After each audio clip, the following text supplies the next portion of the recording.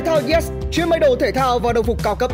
Đồng phục công ty thì chuyên nghiệp, đồ thể thao thì mặc mát và rất thoải mái. Làm sao để đi làm như đi chơi thể thao?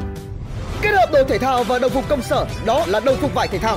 Vải thể thao mát rượi có giãn tối đa, độc quyền từ thể thao Yes. Đặc biệt nhận may số lượng ít từ 6 áo.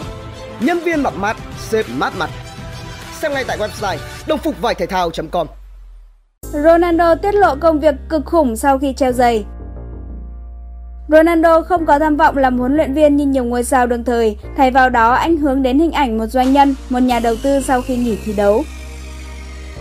Ronaldo sắp trở thành cám mập trong lĩnh vực tài chính, đầu tư rồi bà con ạ. Đó là anh vừa tiết lộ như thế. Thực ra Ronaldo đã kinh doanh nhiều năm nay, cho ra mắt dòng sản phẩm đồ lót, denim, giày dép, nước hoa, công ty quảng cáo, nhà hàng, phòng tập gym và khách sạn.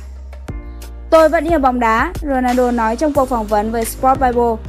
Tôi thích chơi bóng vì người hâm mộ, nhưng 5 năm qua tôi đã bắt đầu lập kế hoạch sau bóng đá. Ronaldo không thiếu cách kiếm tiền, thậm chí có thể duy trì danh tiếng nhiều năm nữa như David Beckham, bởi lẽ sức ảnh hưởng tới cộng đồng của anh là rất lớn. Ronaldo có 185 triệu người theo dõi Instagram, trong khi ở Twitter và Facebook, anh được theo dõi nhiều hơn bất kỳ cầu thủ nào. Ronaldo đã ký hợp đồng chọn đời trị giá 1 tỷ đô la Mỹ với Nike, trở thành vận động viên thứ ba sau Michael Jordan và LeBron James có được siêu hợp đồng này. Tôi sẽ học hỏi chuyện kinh doanh bởi ngay cả các CEO cũng phải làm điều đó, CR7 tuyên bố. Với động thái này trong tương lai, anh em đừng ngạc nhiên nếu Ronaldo ngồi vào ghế cá mập trong một chương trình sắc xanh nào đó. Từ Bảo Anh theo oc.vn, độc đáo TV tổng hợp và đưa tin. Đưa thương hiệu và sản phẩm của bạn đến với hàng triệu khách hàng mục tiêu.